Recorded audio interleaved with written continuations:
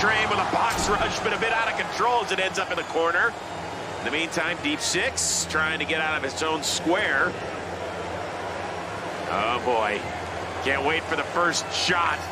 Will it be weapon on weapon? Oh, Deep Six just made itself vulnerable there on the flank. Let's see if Pain Train able to take advantage of it. Both teams having an issue trying to get in the right position. Oh, and oh,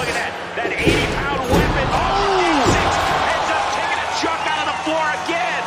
Big impact there, but Pain Train took some damage to that right wheel, Chris. And with their two-wheel configuration, that's going to be a problem. Well, it can get around still. The question is, can it figure out which direction to go? And uh-oh, we got some more rubber on the floor. Uh, this is a real problem now, Kenny. Yeah, and it's lost contact with the floor on that right side. That's not good. Oh, no. Oh,